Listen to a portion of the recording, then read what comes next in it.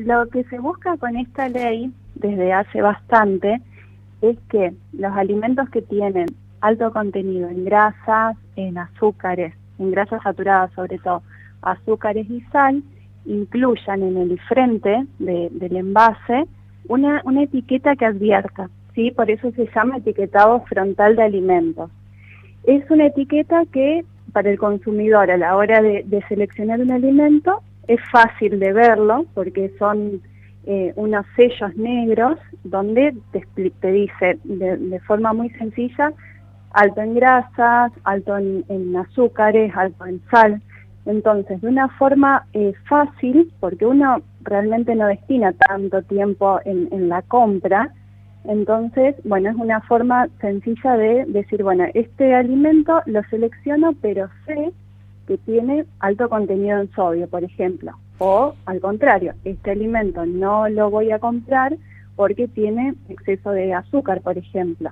Claro, yo pensaba, en realidad todos los eh, alimentos eh, tienen en, su parte, en la parte de atrás de la etiqueta, todos eh, tienen especificada la cantidad de ingredientes, pero realmente es muy pequeña la letra y justamente lo que se busca ahora es que sea lo primero que uno vea y que sea elección del consumidor comprarlo o no.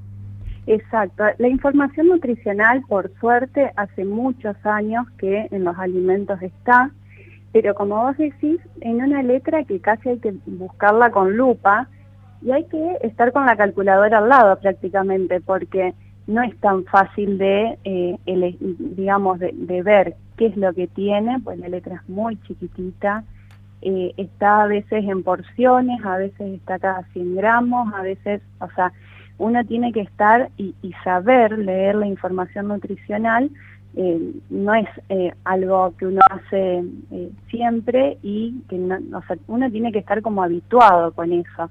Entonces, una persona que va al supermercado no va a estar ni con la lupa ni con la calculadora al lado viendo si ese alimento es alto en, sodio, por ejemplo. ¿sí? Una persona con hipertensión busca alimentos bajos en sodio, por ejemplo.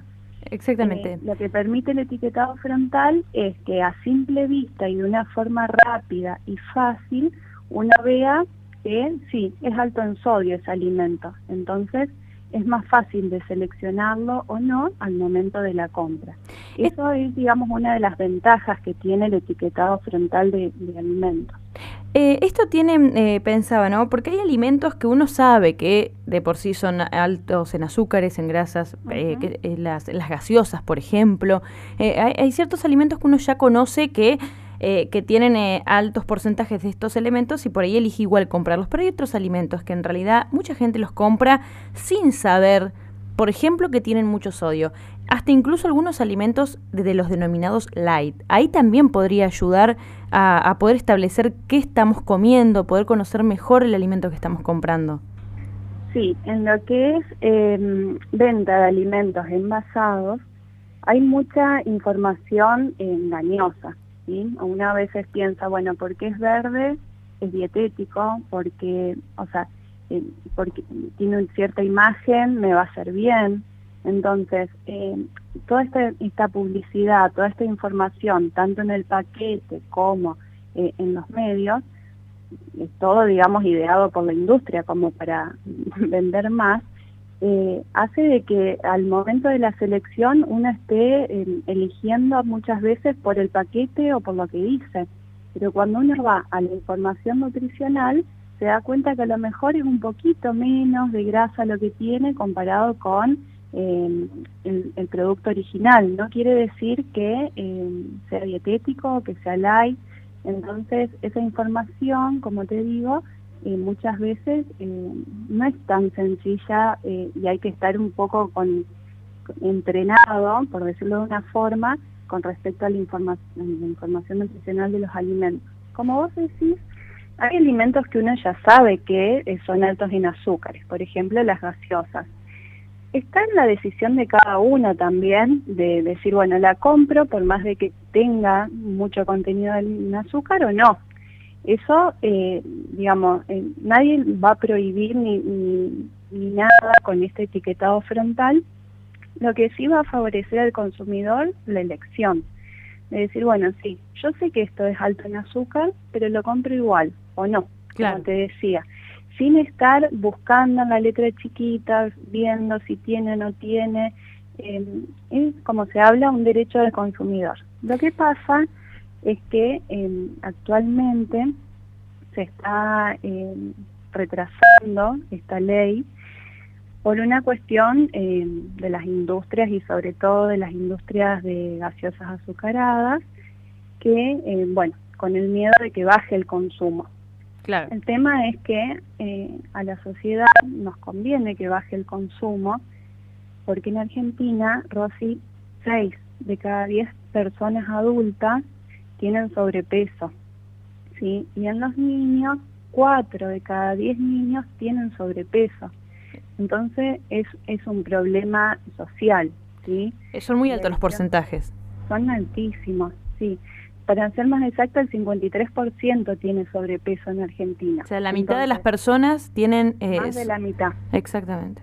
Entonces, a ver, la elección de un alimento, digamos, en la elección de un alimento influyen un montón de cosas, influye la situación económica, el conocimiento sobre los alimentos, los hábitos, la publicidad, entonces eh, que la información esté más a mano es importante. No quiere decir que, como te digo, uno elija sí o no consumir determinados alimentos pero por lo menos que esa información esté, le permite, nos permite al consumidor eh, decidir.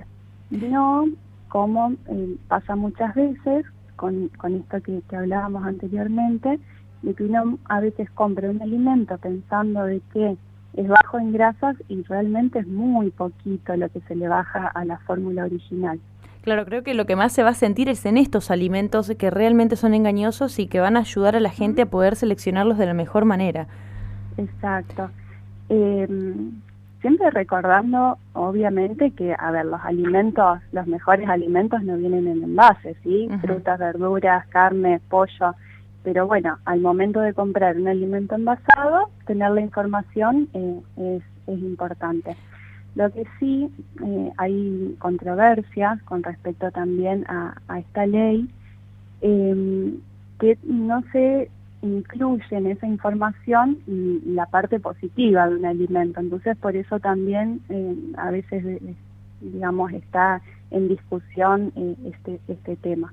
Poder poner, digamos, también en el, en el etiquetado frontal de aquel alimento que sí obtiene o si tiene ingredientes que realmente son nutritivos, también que puedan estar, tal vez en otro color o... Exacto, exacto. Eso es una de, digamos, de las etapas de discusión eh, como dentro de, esta ley.